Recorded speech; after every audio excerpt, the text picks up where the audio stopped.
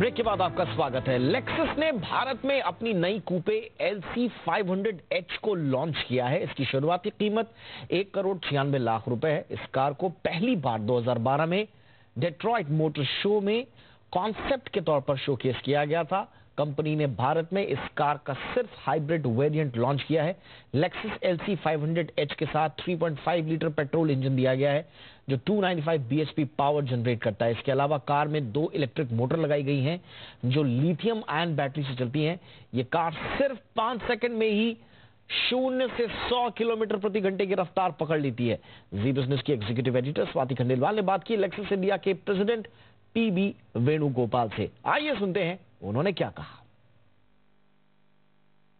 Lexus India ने आज भारत में दो गाड़ियाँ लॉन्च की हैं एंड मोर इम्पोर्टेंटली अपनी गाड़ियों का लोकल असेंबली की शुरुआत की है और वो की है इस गाड़ी से three hundred E S E S three hundred H के नाम से जानी जाती है और मिस्टर पी वेणुगोपाल हमारे साथ हैं जो कि लेक्सिस इंडिया के हेड है make in India I think bigger headline है जो हम यहाँ से देख रहे हैं तो लेक्सिस ने फाइनली असेंबली इंडिया में करना शुरू किया है क्या प्लान है आगे और ये पहली गाड़ी है इसके बाद और कौन सी गाड़ियाँ होंगी As I said, uh, it's a very big moment for all of us.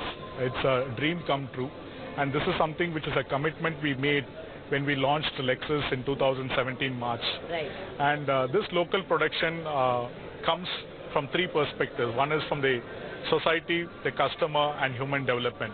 The society is that we always believe that we have to contribute, especially to the environment, and that's why we have brought in the self-charging hybrid electric car, which is locally produced.